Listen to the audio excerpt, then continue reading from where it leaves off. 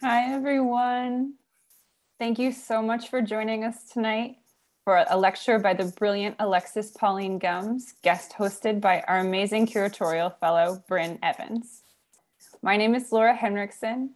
I'm the Director of Learning and Community Engagement here at the Poetry Project. And before I turn it over to Bryn and Alexis to guide us in tonight's program, I have a few reminders and updates. All right. Tonight's moderator, the wonderful Anna Kreinenberg, is adding a link to the chat now with some helpful Zoom tips and best practices. Please note that we are recording tonight's event you are welcome to have your cameras on or off as you prefer, but just keep in mind that if you have your camera on, it's possible that your little tile will be included in the archived video.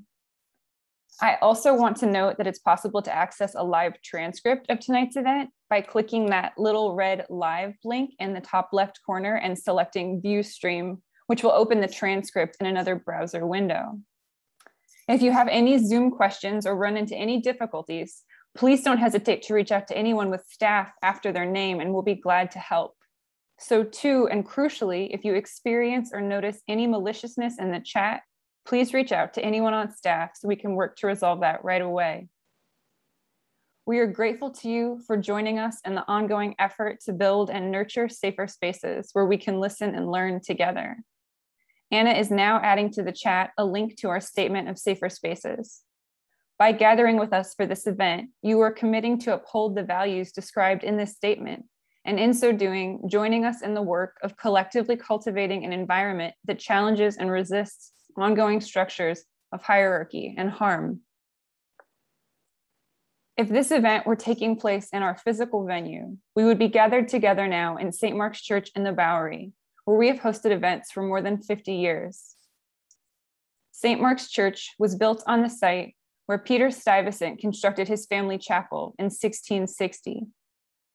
Stuyvesant was once described to me as the original law and order mayor of New York, overseeing continual colonization and enslavement as he increased the population of enslaved Africans in the colony, using their stolen lives and labor to construct the buildings and streets on this stolen land.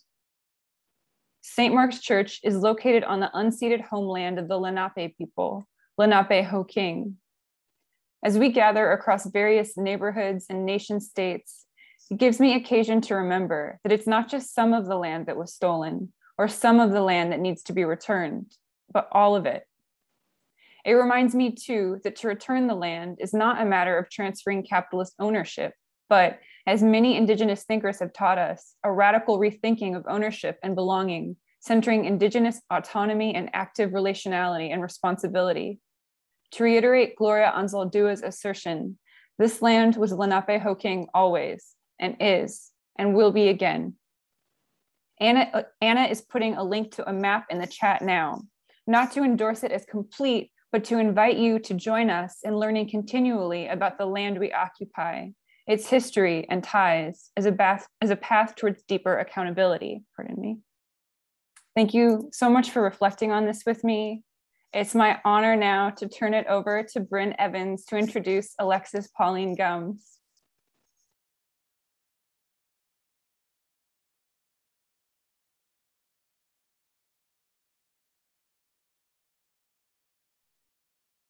Thank you so much, Laura. Um, hi, everyone. My name is Bryn Evans, um, and I'm here to, you know, hold space before we come here for, you know, um, everything we've been waiting for for tonight. Sister as in soul of the people, sister as in comfort, sister as in remind you who you are lest you forget, sister as in remind you who I am lest you forget, sister as in blood, as in south, as in we were birth rivers alongside each other, sister as in an action, as in relation, as in our motions relative to the other. Doctor, as in I feel you, breathe with me. Doctor, as in to minister to, as in one who reaches the root, as in let us take care of each other. Doctor, as in living word. Doctor, as in share the word. Doctor, as in mm, mm, mm. That is what I needed. Last spring, I took a class titled Black Feminist Portal with queer Black troublemaker, Black feminist love evangelist, and aspirational cousin to all sentient beings, Sister Dr. Alexis Pauline Gumbs. With confidence, I can say that this course was the most impactful during my entire college experience because of Sister Dr. Gumbs' brilliant love and that of my peers. They taught us the caring practice of dedication. We opened every class with Sister Dr. Gumbs breathing and ded- dedicating together in our Zoom portal. And those collective actions gave way to our dreaming, our playlist making, our poetry, our bringing life into being in the faces of fear and death, which we all knew too well. Our word making, our world straddling laid the groundwork for us to transform our silences into language and action, in the words of dear ancestor and fellow air sign Audre Lorde. In acknowledging how we might dedicate our work in the portal to those who were not immediately with us, we were better able to imagine how our writing, our dreaming, connects us to life before and after us to communities within and outside of something like a campus and back to each other because the transformation is a process we all have a role in. And our own survival is predicated on the survival of the whole. It always has been. Alexis is the author of a triptych of experimental works published by Duke University Press. Spill, Scenes of Black Feminist Fugitivity, M Archive After the End of the World, and Dub Finding Ceremony. They are the co editor of the volume Revolutionary Mothering Love on the Front Lines and has contributed to and continuously inspires countless installations, anthologies, text, films, and documentaries, installations, and a myriad of other creative works. Alexis is the founder of Brilliance Remastered, an online network and series of retreats serving communities accountable, community accountable intellectuals and artists in the legacies of Audre Lorde's profound statement, and the master's tools will never dismantle the master's house. For the past 11 years, she has nurtured the Mobile Homecoming Project, together with her partner and collaborator, Shango Dare, Sangodare and Lexis are also co-founders of Black Feminist Film School, or BFFs, an initiative to screen, study, and produce films with a Black feminist ethic. Their writing has been honored with inclusion and Best American Experimental Writing, a Pushcart Prize nomination, and honors from the Lucille Clifton Poetry Prize and the Firefly Ridge Women of Color Award. She has been poet in residence at Makeshift Magazine and is currently creative writing, writing editor at Feminist Studies.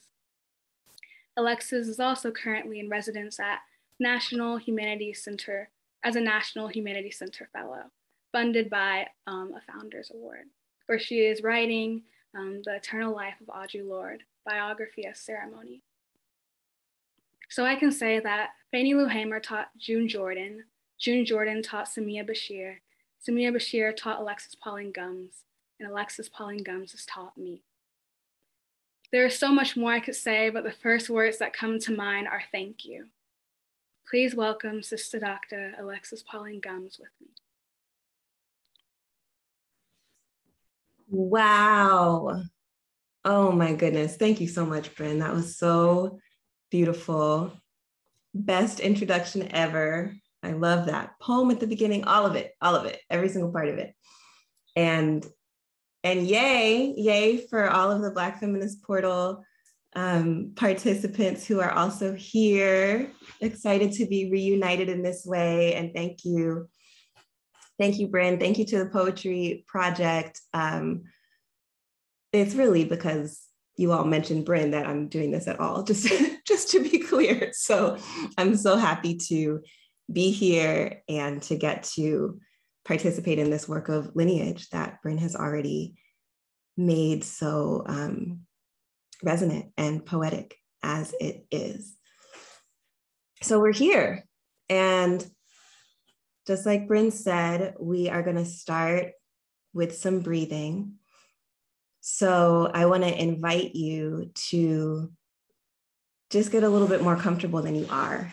I should put my feet on the ground. You might decide you want to like crack your shoulders or adjust the way that you are sitting or laying or being at this moment. And I am going to take seven deep breaths, inviting you, if you want to breathe with me, I'll be marking my inhale and my exhale, or you can breathe at your own pace. And I affirm that. Here we go. Inhaling and exhaling. Inhaling and exhaling. Inhaling and exhaling. Inhaling and exhaling. Inhaling and exhaling. Inhaling and exhaling. One more time, inhaling. Mm, let this one be a big release. Exhaling. Yes, yes, yes, yes. Thank you for breathing with me. Thank you for everything that you have done to honor and nurture your breathing through all of this. All of this. And the second way we bring ourselves into space together, as Bryn mentioned, is through the practice of dedication. So, this is an opportunity to dedicate your practice, your participation, your listening tonight to someone who is not that you know of part of this, part of the 110 participants in this Zoom or physically in the space that you're in. So in that sense, we're, we're always we're always operating within a portal. And your dedication can be to someone who's older than you or younger than you or living now or who lived before. It can be someone whose name you don't know, but who you know how to refer to so that you understand that you're connecting with them. And my dedication today is to Boda, who is one of my ancestral mothers. She was an Ashanti woman who survived the Middle Passage, enslaved, and um, yeah, became our maternal ancestor on the island of Anguilla. It's now called Anguilla, originally Malliouhana. And she's been very much with me today, but I'm thinking about what it is to make a space where life is possible under horrific circumstances and taken completely out of out of the context her own context of ceremony and so I'm remembering ceremony with her. That's my dedication. I want to invite everyone else to use the chat to just share your dedication, the way that you want to share it. You might just offer a name or a reference point. You might want to say a little bit about why you're dedicating to this particular person, why they're on your heart or on your mind this particular day. And we'll just take a moment to type those in the chat and to just welcome, welcome the experience of seeing everyone else's dedication. Go for it.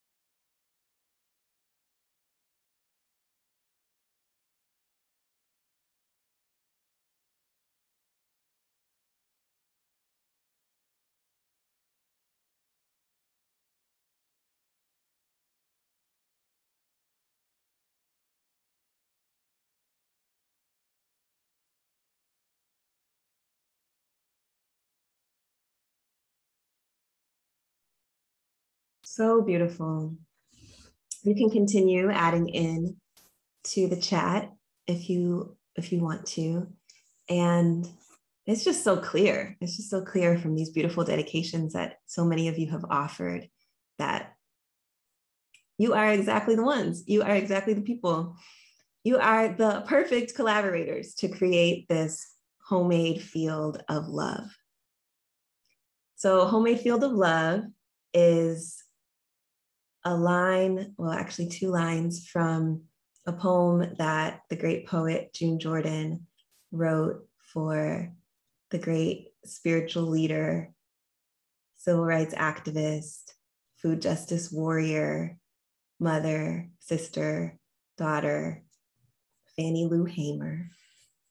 And yeah, this is this is what the way she describes Fannie Lou Hamer is one full black lily, luminescent in a homemade field of love.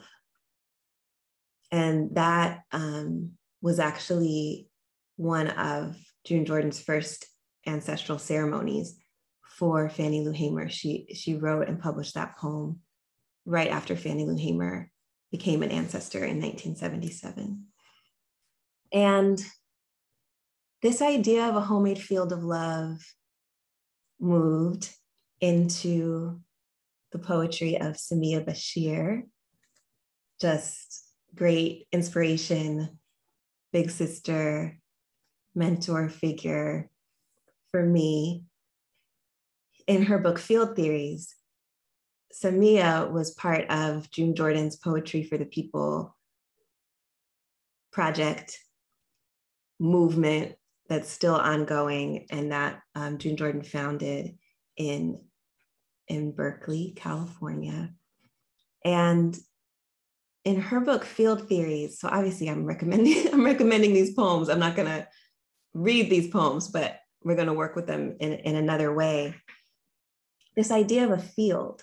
And Samiya also takes it to this place of astrophysics and uh, a Black quantum reality. So if you haven't read the book Field Theories by Samiya Bashir, this should be, it should be next. It just should be next. Sorry to all the other books on your nightstand, but go to go to Samiya. And you know, it's so it's so wonderful to hear Bryn's reflection about our time together and the portal class that we got to create because that is that is my study. You know i am trying to learn how do we make a homemade field of love? And i see it in this lineage of what samiya bashir learned from june jordan and what june jordan learned from fannie lou hamer and that they decided that what they learned would be something portable that could move across lifetimes. So that is why we're here. That is why you are here. And i'm just affirming with your dedications the fact that you know you know that you can connect beyond individuality, beyond time and space, and honor those who you are connected to. And we already have it. We already have it here in the chat a homemade field of love. We made it. So nothing else has to happen, but some other things will. So now that we've affirmed that we're breathing, now that we have dedicated our practice we are in a space where oracle magic is possible. And what that means is really that I have created this as an interactive lecture experience that is powered by the breakthroughs that we're having in our lives right now. And I just, I'm just going to attest that we are, Tina Zafreen knows, all Oracle all the time we are always in some area of our life having some kind of breakthrough and like emphasis on the break. You know, like there's something in some area of each of our lives today that we don't know what it's going to be like on the other side of it. We are transformed by whatever it is that we're facing in that area of our lives and you know this is the, this is the place this is the place that June Jordan was in her life when she went down to Mississippi from New York City, which is where she grew up, and met Fannie Lou Hamer. This is the place that Fannie Lou Hamer was in her life when she decided that she was going to transform everything that she knew and become a target in her community because she was going to register to vote as a Black person in Mississippi. So we get to think about, and I want you to, you don't have to share this in the chat, but maybe just write it down for yourself if you have a pen, or just think about it for yourself if you're on the move. What is it? What is the area of your life where you are having a breakthrough? You might be in the part of it that looks like a breakdown. You are wondering about something, and it would be just really helpful to know that you are held in your learning, unlearning, transforming journey by a homemade field of love. So sometimes I refer to this as a Lordian question. Shout out to fellow air sign, Audre Lorde. Love that, Bryn. It's a Lordian question in the sense that it's like there's shaking there. You know, it's not it's not the type of questions that we usually have in the poetry Q&A where it's like this is my opportunity to sound very thoughtful and brilliant and to show that I deserve to be here at the poetry lecture. That is fine. And you know some of those questions are so interesting and fascinating but this is actually about something that you really have not figured out is the breakthrough that you're having now. Not the most recent one the current one. Not to say there's only one but the one that you choose to share in this space. So I think I've explained it enough. I will model. So my Lordian question, my current breakthrough seeking to be held by a homemade field of love that we get to co-create is in the area of Mm. It's in the area of community. I think that I'm at a place, maybe many of us are, but where I'm relearning how to be in community and play my role in a community that I love. This community accountability is a theme that, as Bryn mentioned, has come up for me and that I seek the wisdom of Audre Lorde to understand. But right now, I think I want to learn how to gracefully, powerfully claim my space to go deep, to be alone, to be inside and in my process, while at the same time showing up for my communities so that they know that they are loved. So, as you can hear, the Lordian question is not necessarily a, a well articulated question. It's some area where we're really, really still in process. But I do think that there's a breakthrough that's possible where I can have a relationship to my depth of work and my community where I don't feel um, guilty or that I'm shortchanging all the time. There's another level of that that is that's happening. And it's happening right at the moment that my partner Sangodare and I, as Mobile Homecoming Project, have like just we're just about to have our first retreat at a brand new retreat center that we just opened. So community, scale, time for myself.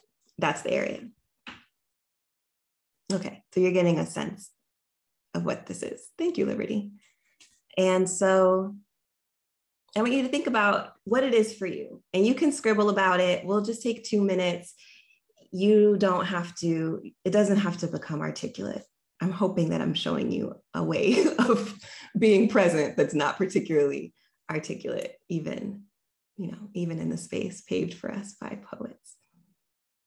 just take a minute and think about what's your oracle question, your Lordian question, your growth that's happening right now that you would love to have supported by a homemade field of love.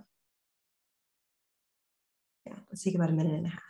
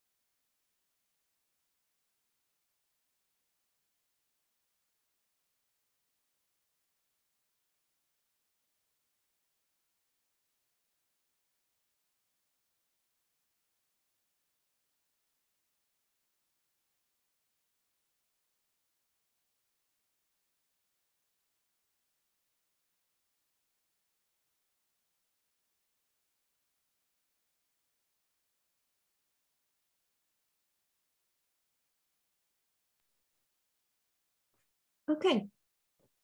Maybe that was a minute and a half. This is the thing about portal keepers and time travelers.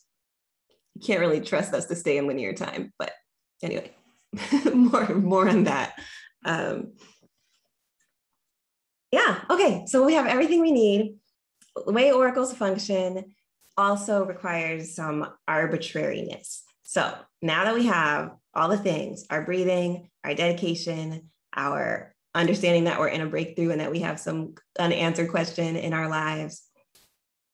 Now, or whenever, you get to choose a number between 1 and 18.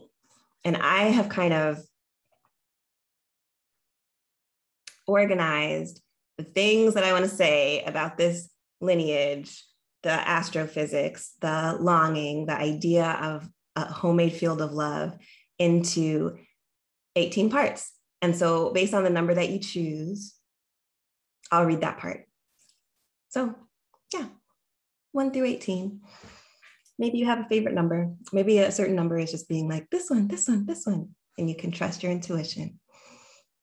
Okay, so people are having their numbers. This is good. And so, I'm going to give an opportunity for folks to speak aloud their question as vaguely or as specifically as you want to. You have to share all your business. As we already know, this is being live streamed and recorded and preserved for posterity. And, you know, your business is your business. But in the way that you can to share some piece of your question and the number that you chose. And I'll read that part. So if you raise your hand using the reaction feature of our Zoom portal, I will call on you and listen to your question and ask you your number and read that part. Okay, let's start with you, Jaden. Hello. Um, thank you, uh, Sister Dr. Alexis Pauline Gumbs, like for all of the all of your work and, and for what you've led, it, led us through this far. Um, my question is How can I nurture my inner? How can I nurture my inner child and younger self mm. and encourage them to believe that their dreams are possible? Mm. And my number is five. Mm, that's a beautiful question. Yes. Oh, thanks for that information, Jules. 18 is the divine numerology of life in Judaism. Yay. Okay. So five. Mm-hmm. Mm-hmm. In 1977, the great civil rights activist Fannie Lou Hamer died of breast cancer.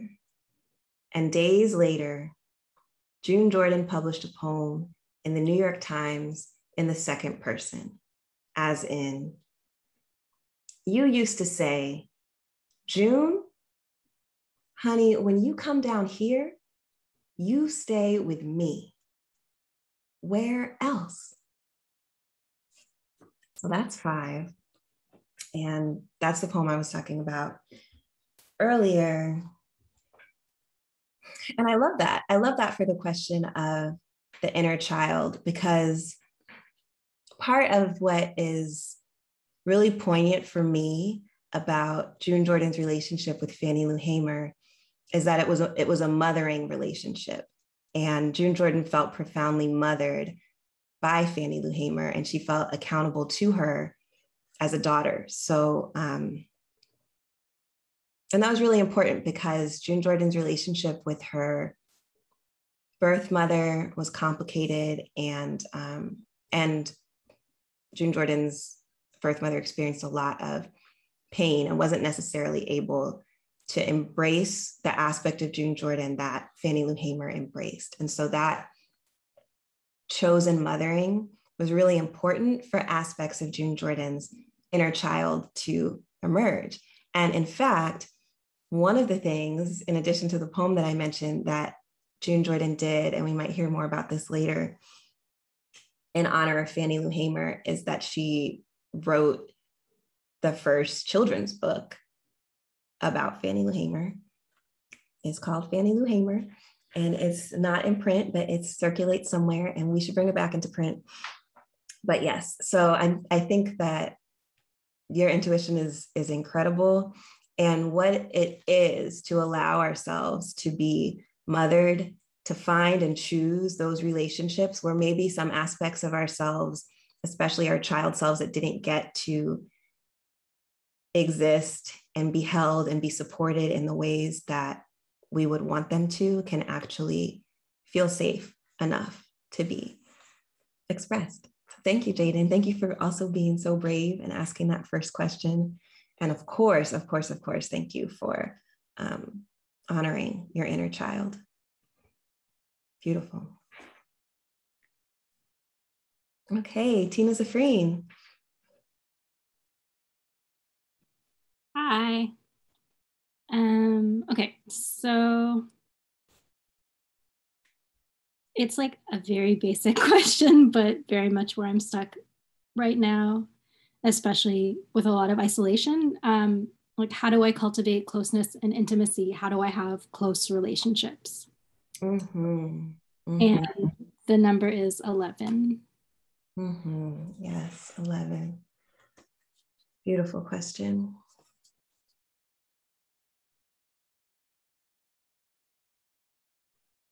Oh, of course, this is for you, Tina Zafreen. okay. Ronald Mallett a retired Black theoretical physicist, is building a time machine so he can reunite with his father, who died when he was a child. Literature reaches for what Black life already wants everything that was taken too soon, which is to say, everything. Mm-hmm yeah, I'm so fascinated by Ronald Mallett's project and I relate to it so much. But yeah, I mean, you know that I know that you are a time traveler, or as I've heard you say, you know, time and space are a scam. So I think about this, um, you know, this is a person, I mean, this is like one of the most prestigious, esteemed physicists that is living and um, he's quite seriously working on this time machine. And I, I think that,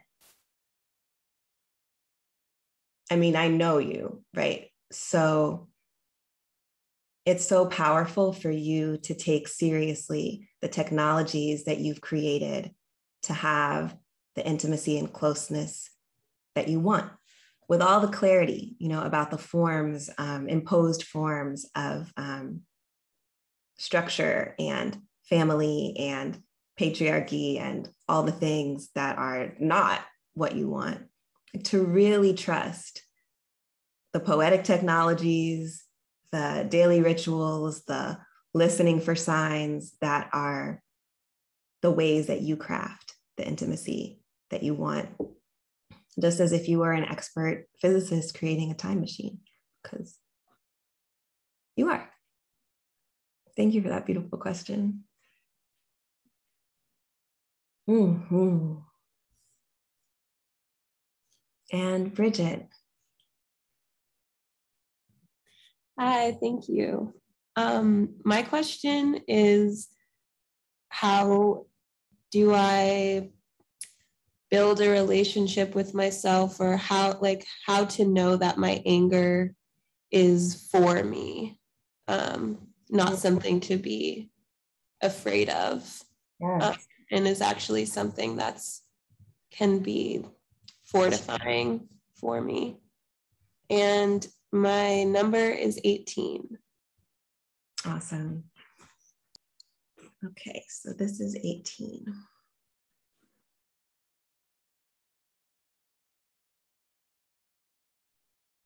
Mm-hmm. Mm-hmm. I wish that violence and neglect didn't steal Black life right in front of our faces. I wish that my father were here. This writing is how I bring him. Who are you bringing? Death reveals to me that all my archival obsession, all my research, all my poetics, all my ritual making is a Black refusal to be separate from Blackness, from the unknown and the unknowable, from you, the Black breadth of the universe, a homemade field of love. Mm-hmm. Yeah. The fact that you brought up 18, I think is so, is so on point. I mean, everything that you said, the clarity of your question itself in terms of your anger as, you know, as Audre Lorde says, full of information and insight, right? The importance of that anger to teach, you know, to teach you and to, to compel you to teach us another way that it can be. I mean, I, I think about how important it is for me to honor my refusal of all the forms of anti Blackness that seem to structure our world, except it's all inside this, this Afro astrophysical structure that is, um, is older and even more pervasive. So, yeah, I think that I am so angry about the conditions that lead to the fact that my father died a premature, preventable death. And it's not random that that's the case, given the structures that he encountered as a Black man in the United States. And what I know and what I affirm for myself in my relationship to my anger is that every, every, every, every anger that I hold, that I experience, that I allow to come through, even into my own consciousness, is connected to a deep and profound love. Always. And so, part of how I understand my anger to be for me and to be valuable and nurturing and something for me, even to nurture and listen for, is that my anger, my absolute rage about, for example, the, the so called healthcare system in the United States is directly coming out of and connected to and accountable to my love for Black people who are being harmed by that so-called health system, right? That that's um, that is always the case, and it shifts the way that I even relate to the the horrifying news of of many days. It's like, why am I so angry about this? This is because I feel so much love and respect for the relationships between the parents and the children who are being separated at the border. That's love that's fueling the fact that I'm incensed about this, right? And it's important for me to ask myself the question what is what is the love that's fueling this anger because that tells me who the anger is accountable to. That tells me what the possible actions are. And what a gift, what a gift that you have this question. What a what a bright and fiery brilliance to be able to understand that there are things that we're angry about and it's because we love ourselves. I love that, Bridget. Thank you. Thank you. Thank you for that. That question. Um, yes, yes, yes. Oh, and so folks are asking, let's see. Um, yeah, this is an essay that um, a version of it is in a book called We Travel the Spaceways. Um, I just gave this link because the whole thing and then me reading the whole thing in its original order um, is part of this this whole Fannie Lou Hamer deep dive that is a is a course you can you can take if you want. It's at that link. But yeah, I want you to keep it with you too. So you can you won't necessarily see it with its numerical changes although i'll add that i'll just add that into the course. So you can you can see it in there if you want to if you want to dive deeper. Thank you for asking. Okay. Thank you bridget. Thank you for that question. And angel would you like to share next yes um thank you so much for this offering. Um okay um my question is like a winding road. Um mm-hmm there's a series of questions that you know end somewhere. Um, when my when my pleasure is shadowed with shame how do i move through it? How do i honor the spaces and people who bring me deep pleasure without sh- shame clouding or distorting that gratitude how do i understand that pleasure is good and that i deserve to feel it that it's okay to be in the goodness of it and that i don't have to be ashamed mm-hmm. oh i love that oh i love that so much and what's the number that you associate? Uh, 17. Okay, great. And obviously, other, other folks of you who have chosen your number, you understand this is also for you when you hear someone choose the number that came to you. And they're all for you, and they're all for me. Mm-hmm. Mm-hmm. How did I know it was going to be this one, Angel? This is 17. Was my father warning me of a shift in his movement, of where he was headed? Was he teaching me a new mode? Immobilized by the preventable cancer in his bones that no one noticed until it was too late because he didn't have health insurance most of his life, did he actually develop a skill for transporting himself to Black space? Is the lack of health insurance already a Black space? Is dark energy a space of queer movement, of disability justice? Why was a man who could not move from his bed the first person to seriously invite me to travel through space and time? Can we take on the leadership of disabled Black travelers in a journey that queers the meaning of movement altogether? Can we be like June Jordan, not becoming stars, but following instead the darkness of what we want, the togetherness that enlightenment won't let us have. So, in that, Angel, is really, it's exactly what you're saying. The root of this idea that there can't be pleasure without shame, right? That, like, the togetherness that enlightenment won't let us have that I'm mentioning in this piece is is actually centuries of pathologization of how porous and connected and not not individuals but like all all wrapped up in each other. We are as life on this planet. There's like a fear of that and an enforced separation separation separation separation the way that separation is enforced even before we take action, even while we take action, is through what I hear you naming as shame. And so I just want to affirm how revolutionary it is, you know, to really honor your pleasure, your desire to be with and changed by and joyful with who brings you joy.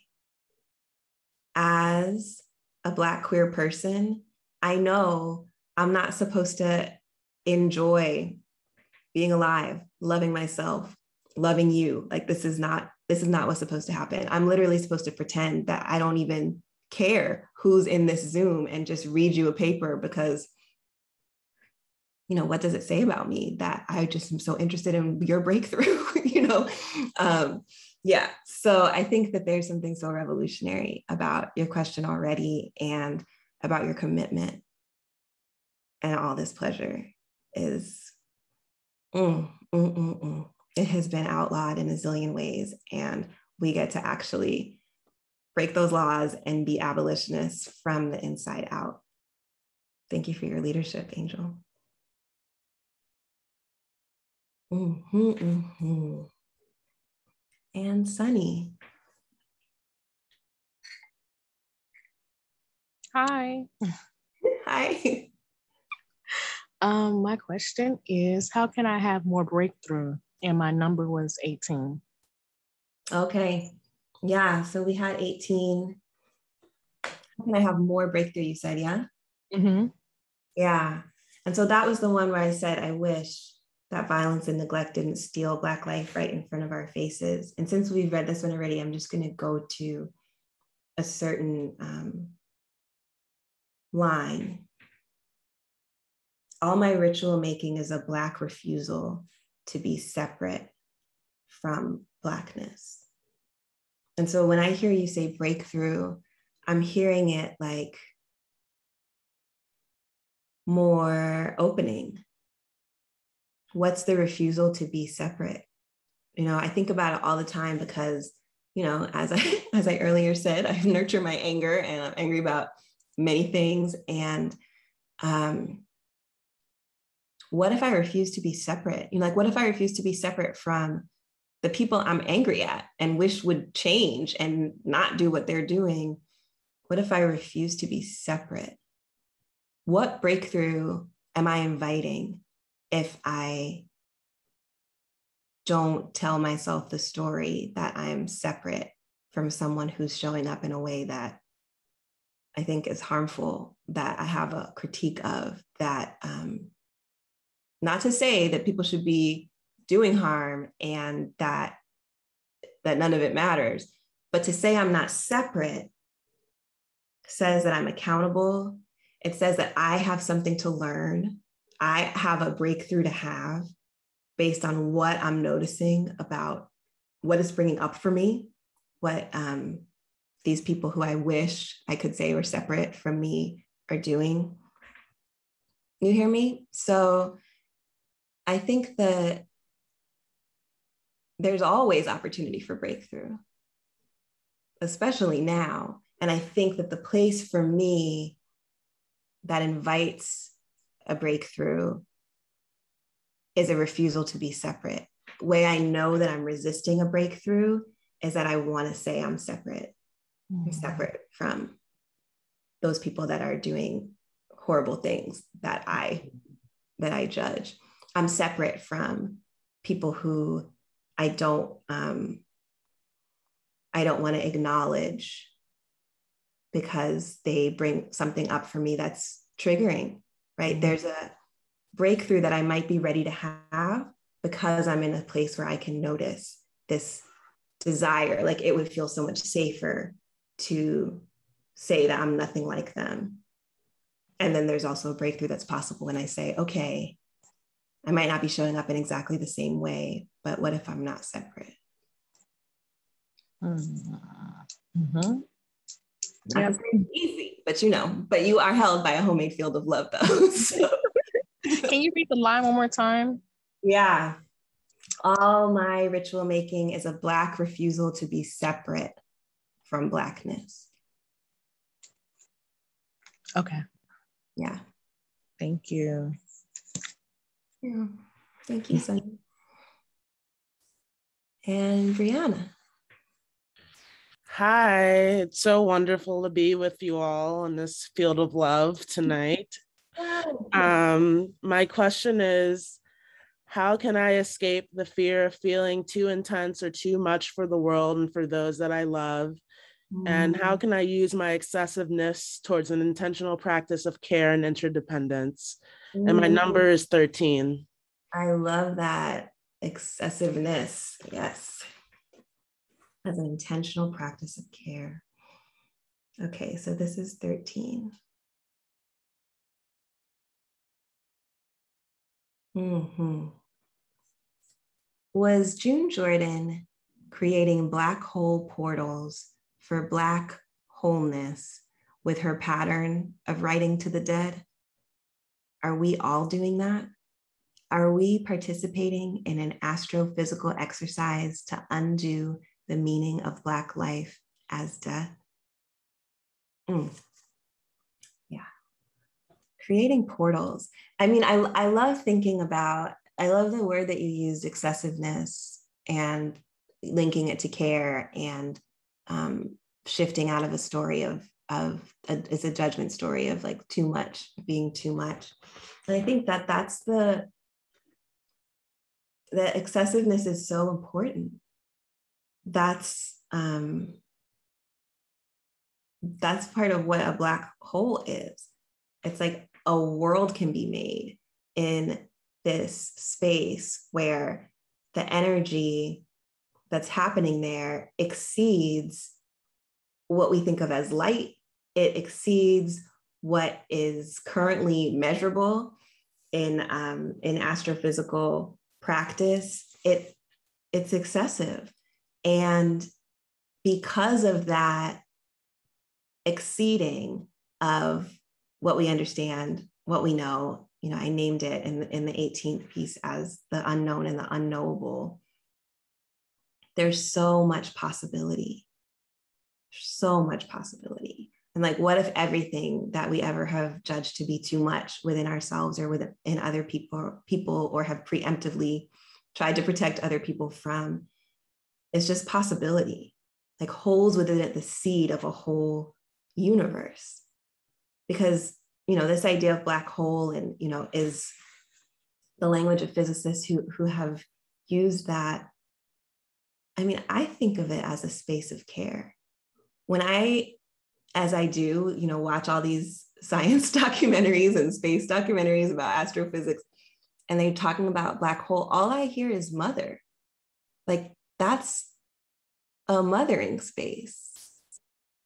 It seems to me like a womb, like that's a dark space where something shifts so profoundly it's such a creative space. I mean, the theory is that that's how this whole universe was created through this dynamic that they call a black hole. So all it's and sometimes I sit there and do it. Like I sit there and watch it. And every time they say black hole, I say mother, mother, mother, mother. And then you hear, you hear how the pathologization of black mothers and what physicists feel like they're just objectively saying are like the same narrative. So that's a poetic exercise for another time.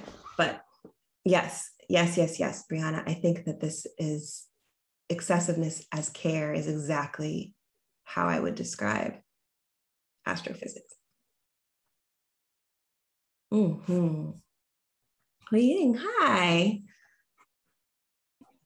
Hi. Um, beautiful to be here with you. Um, it's so lovely to see you. Um, my so my question is, um, how do I fully remember all of me? Um, how do I fully remember all of us? Mm. Um, and I think like I like for me the biggest part of that is like how do I stay there? Um, like how do I stay there and like live there and like be there um, all the time? Um, and I think the number is 16. Mm-hmm. Stay in that remembering. Yes, I love that. 16. Mm-hmm. Mm-hmm. June Jordan related her changes to Detroit's changes too. In her 1971 debut poetry collection, Some Changes, she relates her own heartbreak to the situation of Black urban spaces. Whereas my father reached out from his hospital bed to quote the brothers and sisters in Detroit, the poem The New Pieta in Jordan's book is dedicated to the mothers and children of Detroit. Jordan starts in iambic pentameter. They wait like darkness, not becoming stars. Connecting this work on Detroit to classical forms in poetry and painting, and referencing the sacred mothering in the Pieta used to describe paintings of Mary and Jesus. Three stanzas of three lines each invoke the Trinity.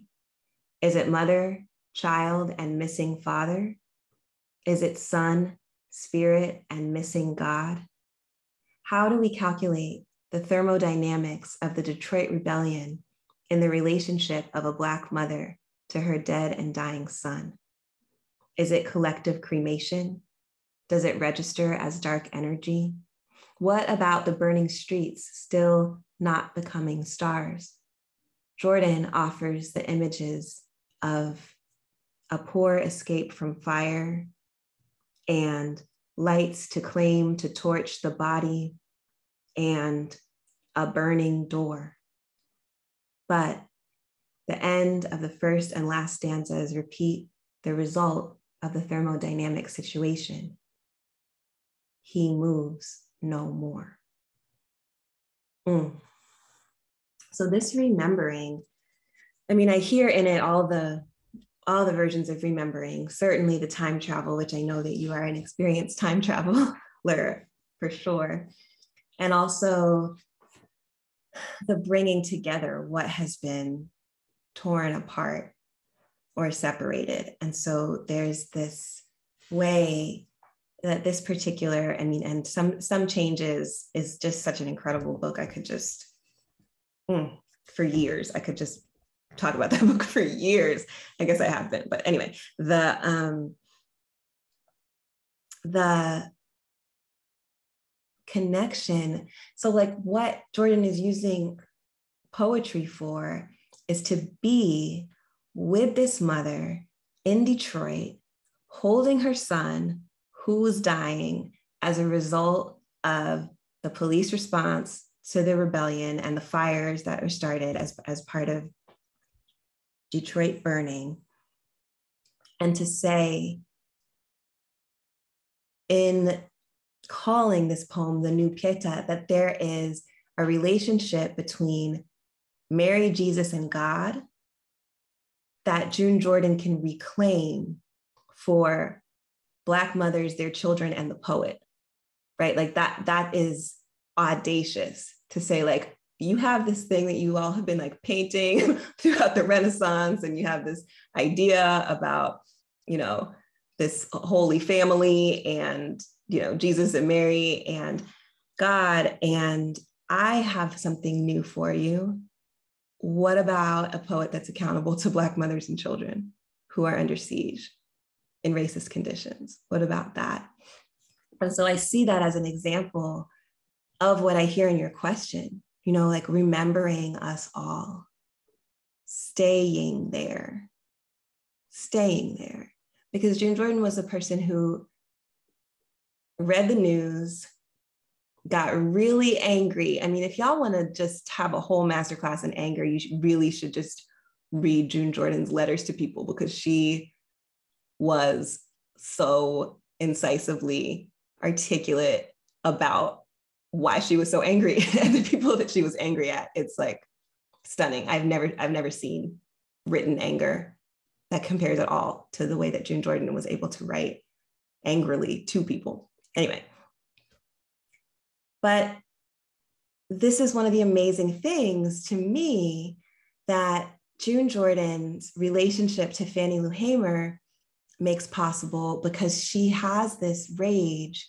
It's not that she always stays in that place of rage, but that she is angry about it. There is a fire to that. And yet she stays she uses poetry as a way of staying with that with that feeling with exactly what she refuses the intimacy and closeness with who she's supposed to be separated from, because they should be dehumanized in every story that's told about them. And so, some of the things that made June Jordan so angry, she was sustainably active on in her life. There was a there was an actual sustainability in her practice where her rage didn't burn out her ability to be in relationship with communities of struggle and change that she felt accountable to. And often she felt accountable to them through her rage, rage at what happened, the disregard for Black life during the Detroit Rebellion. So, anyway, what I'm saying is really for everything, but certainly for this, there's clues in June Jordan's practice. What I, I mean, I think you already do this because I, I know you as a writer. How can your creative practice be that space of remembering? I think it already is of that closeness, and you get to come back to it in a portal that you have created, which is such a powerful form of staying remembering all of us. Thank you, Hu Ying. Mm-hmm. Thank you. Mm-hmm. Okay, so we have about 20 more minutes. I just it just occurs to me that I guess I can maybe see all the hands and not just the few that are there. Okay, so we have four more, I think. Um, perfect. Okay, so Basha? Hello, thank you so much. Um, I just want to thank you for all of your works and like all of what is happening right now in this moment, the healing that's happening now and through you. Thank you. Um, my question is how can I know the difference or how can I know when pain is from stretching, when pain is from trauma, like ancestral or my own. Um, and when pain is from the experience of like currently being like inflicted or like having harm. Mm, hmm Number three. Three? Okay. Hmm.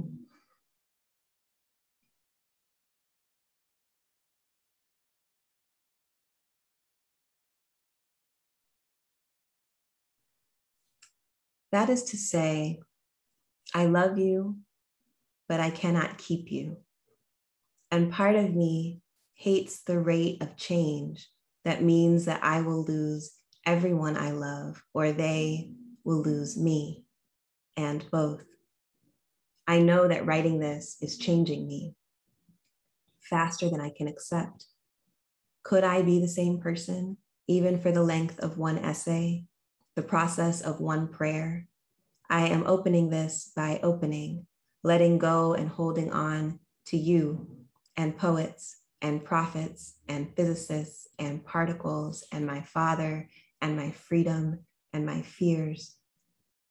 But we both know in the time you take to listen, what you knew about yourself will burn. By the time you hear these words, I am gone.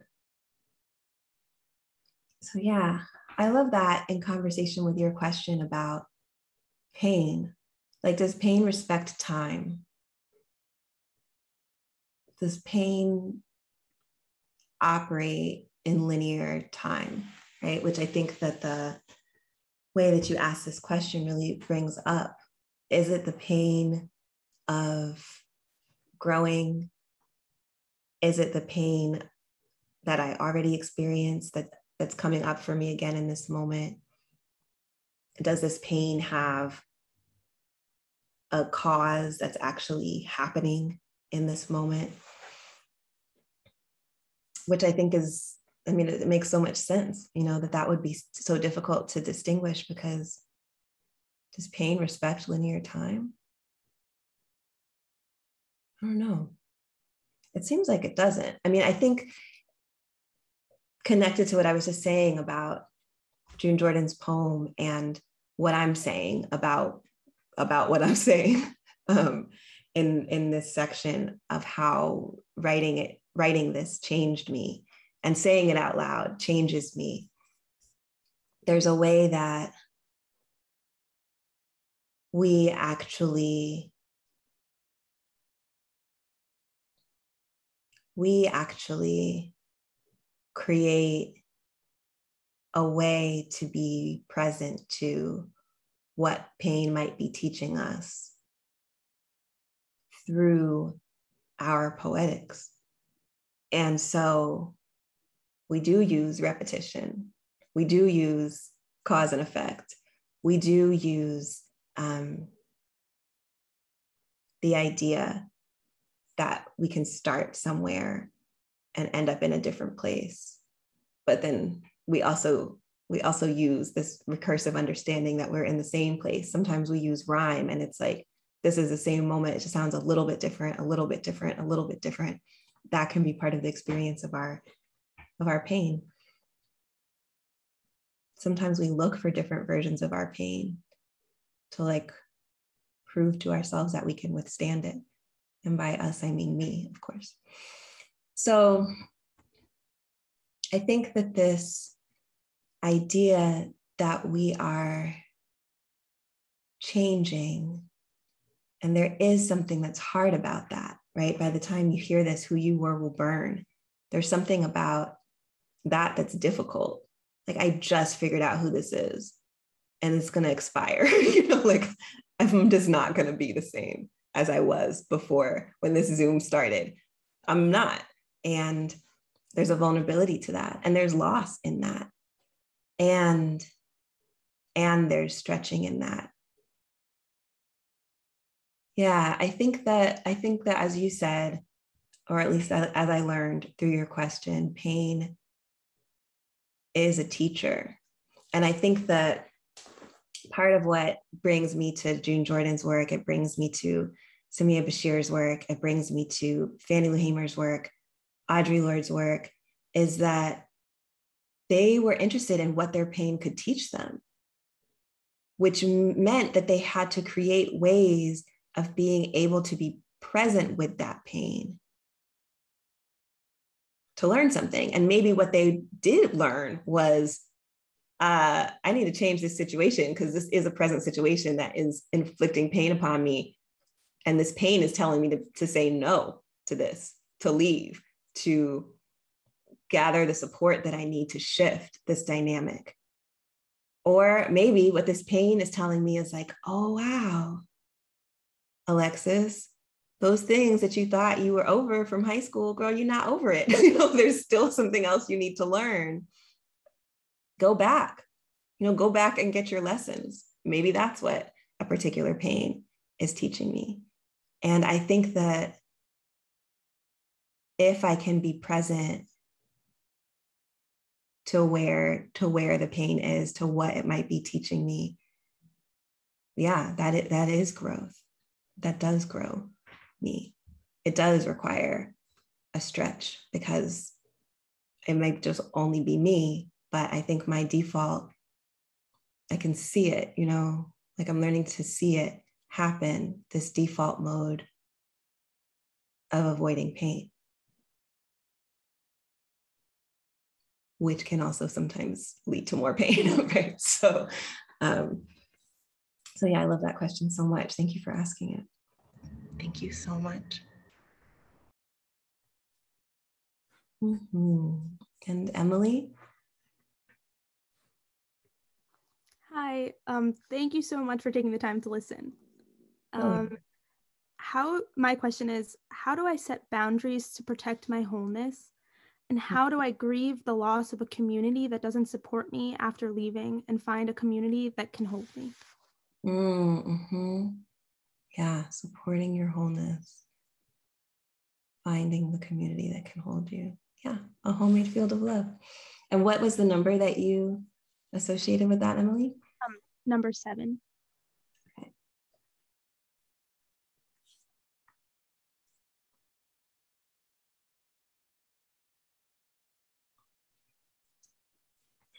In 1970, in the New York Times, June Jordan wrote about Mississippi as a Black home, a site of dark energy. She spoke against the way Black lives were invisible to the readers of the New York Times except in death. She insisted, quote, they are there, right there. They are alive and changing their lives point by point. Not exactly stars, but impactful and dark points of Black, like most of the energy and matter in the universe. Okay, so this idea of Black home and all of it is in there in, in this Fannie Lou Hamer course, the article itself uh, on Black home that June Jordan wrote in 1970 was this, it was very revolutionary for June Jordan to say that she could define Black home as not a pathology, not a lack, but as this miracle of change, right? Of being alive and changing their lives point by point. And the liveness in a context where Blackness was understood to be death, static, statistical in the pages of the New York Times and beyond, she was saying there's this liveness and her prime space of studying that liveness was following Fannie Lou Hamer around and seeing how in in Sunflower County, Mississippi, where people were shooting, like shooting at Fannie Lou Hamer all the time, like targeting her, really trying to insist upon her death, that she was just like loving the people and cooking and growing these flowers and creating the freedom farm and and a like pig exchange program where people were just like passing around these pigs that were giving birth to more pigs and and changing their situation out of sharecropping and the inventiveness and the creation of home in this place where black people had no right to vote no even pretense of enfranchisement, and um, we're experiencing such brutal violence from the pathological white people that were there that um, that it shaped their lives in particular ways. Yet still they were at home creating home. And for June Jordan to say, this, this is what I think home is. This a child born and raised in New York City, understanding that for people living in New York, Mississippi is like, you're going back in time. Mississippi is dangerous. Mississippi is where they're racist. Mississippi is where they're uneducated and where their lives are so hellish that they might as well not even be alive. She was saying, like, this is where I feel at home. This is a place where I see possibility and, you know, she leaned into that. And it was really important. It was really important for her to be able to actually relate to her family, create homefulness, be in community, for her to really trust that communities existed that could hold that and that she could honor that and that she could study that and she could immerse herself in that through the mentorship of Fannie Lou Hamer. So yeah, I think that this is this aliveness, you know, as you're thinking about what are the communities that actually can hold me, as you have been so alive that you've evolved out of the spaces that you were in before. What does it mean to attune yourself to recognize this definition of aliveness? changing their lives point by. And it's everywhere, right? I mean, that's the other thing that June Jordan is saying. Like they are there, they're right there. You know, like readers of the New York Times, you don't see Black life in Mississippi. You only see Black death in Mississippi, but they're right there. Right. So just affirming too that the communities that you're calling upon, that you know that you need, is right there. Mm-hmm. Thank you, Emily. And Lorenzo.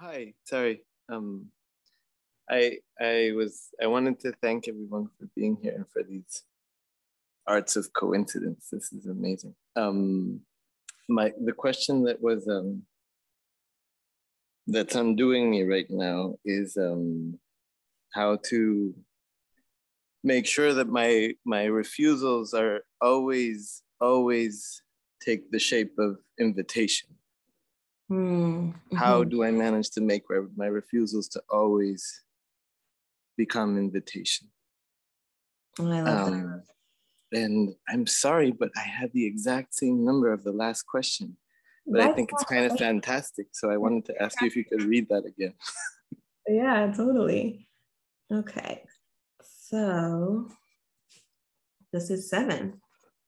I mean, seven is always popular, right? There's something about seven, very powerful.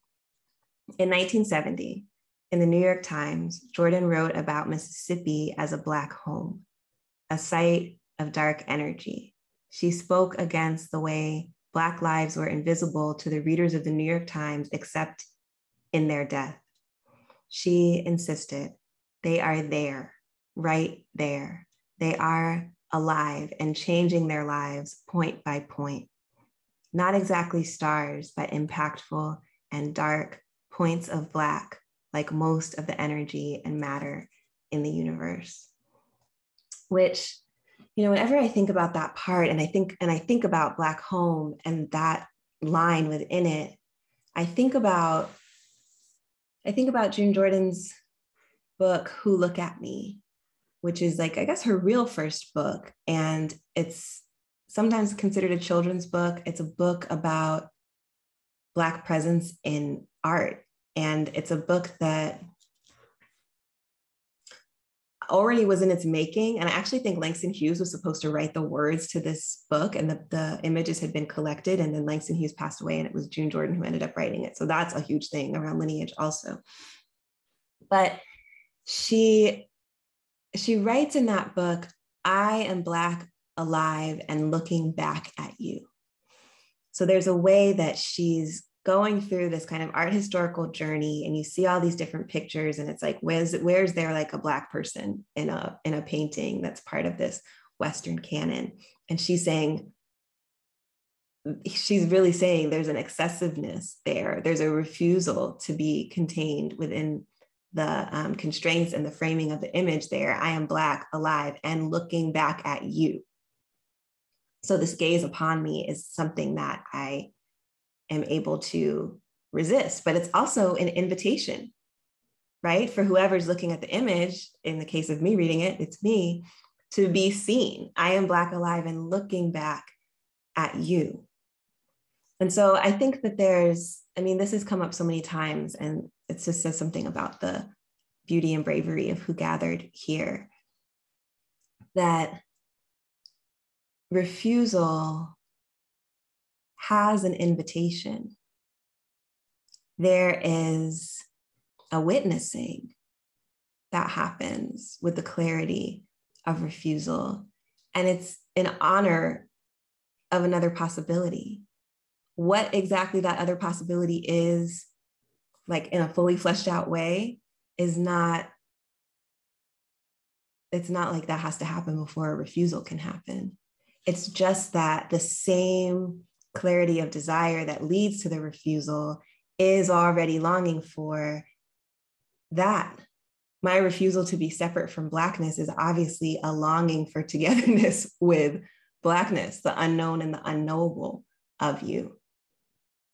And this insistence in June Jordan's work on the idea of change, even in a moment where he moves no more, right? Where the stillness of death is actually in the room with the mother who's grieving.